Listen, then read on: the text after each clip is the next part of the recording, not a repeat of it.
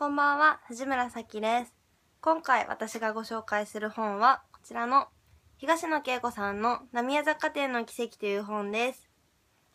東野圭吾さんといえば福山雅治さんが主演でドラマにも映画にもなったガリレオシリーズが一番認知度が高いと思うんですけれど、そのガリレオシリーズを書いてる東野圭吾さんの作品です。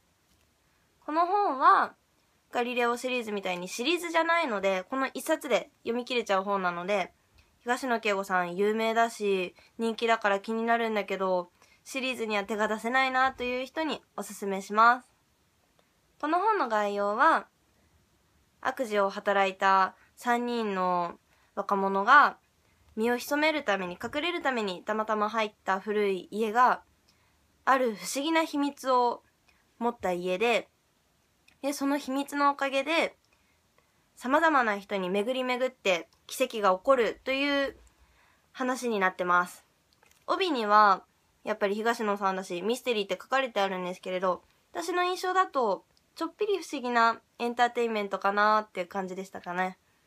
リアルなファンタジーみたいな、そんな感じでした。やっぱり東野さんだし、とっても読みやすかったですね。なので、読書初心者の方にもぜひおすすめしたいと思います。以上です。ご視聴いただきありがとうございます。